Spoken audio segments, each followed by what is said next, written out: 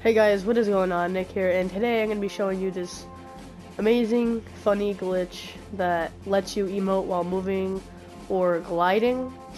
So, if you if you want to do this, you're going to have to go to settings, then go over to your controller, and you have to click custom. Uh, so you you can basically change everything you want to to like the one you use. So like change your build controls to the ones you use, your uh, edit, your combat.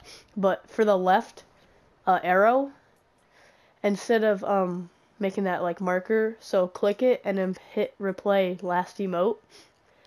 And then once you're doing that, you're gonna you have to have a gun in your hand, so you're gonna take your gun. Wait, well, be, to decide what what emote we, you want to use, you have to uh, use one of your emotes. So I'll use no, that. Alright. So now, you aim your gun, you reload, and then you do it.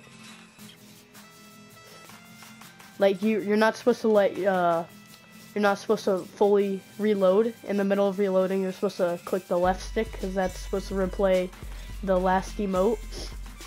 So, yeah, you can jump around while doing this. It looks pretty, looks pretty funny. Looks like a ninja and then show you gliding.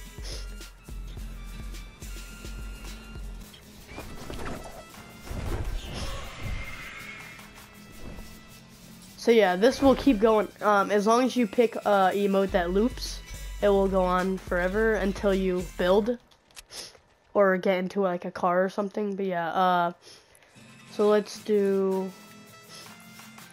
uh, let's do floss. So.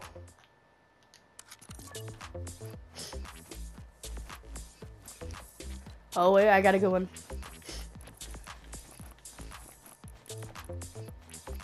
Here we go. Alright. Oh, that looks so cool. Alright, now the last one I want to show you guys is the uh ride the pony. If I can find it. There we go. Alright. There we go. Alright, thanks for watching the video, guys. If you liked it, leave a like, comment, subscribe if you haven't. Uh, stay tuned for more videos like these, and I'll see you guys in the next video. Peace.